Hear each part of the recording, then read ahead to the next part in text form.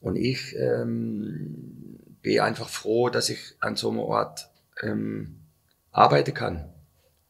Ähm, ob ich irgendwo anders auch arbeiten könnte oder vielleicht mal irgendjemand sagt, oder vielleicht wäre es auch nicht ganz uninteressant oder so, das steht ja dann nicht zur Debatte. Ähm, das wäre dann was anderes. Ich bin mit vollster Überzeugung hier bliebe und wenn ich nicht hier bliebe wäre, wenn ich das nur als letzten Satz sagen darf, dann hätte ich auch ähm, nicht weitergemacht. Jetzt. Das ist, das ist Fakt. Ich hätte gar nicht weitergemacht. Von dem her stellt sich die Frage nicht. Entweder ich mache hier weiter, jetzt, oder ich mache nicht weiter.